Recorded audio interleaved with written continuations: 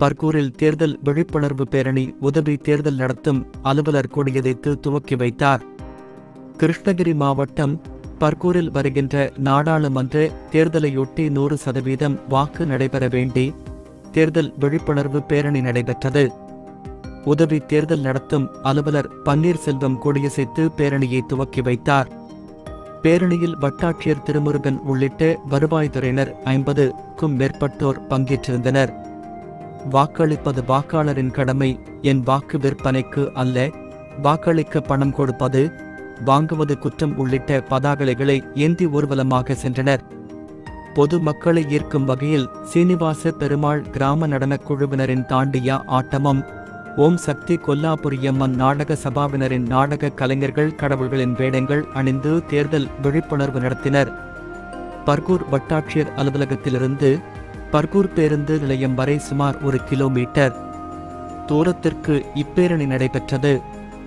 பேரணியின் போது வருவாய்த்துறையினர் துண்டு பிரச்சாரங்களை பொது மக்களுக்கு வழங்கி அனைவரும் வாக்களிக்க வேண்டுமென கேட்டுக்கொண்டனர்.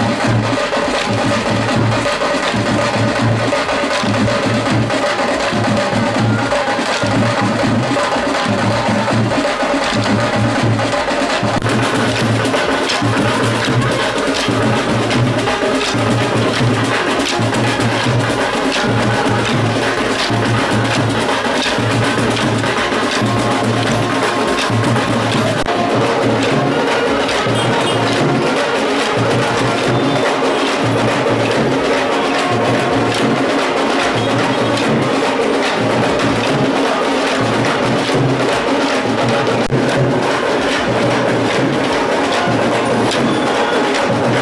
you.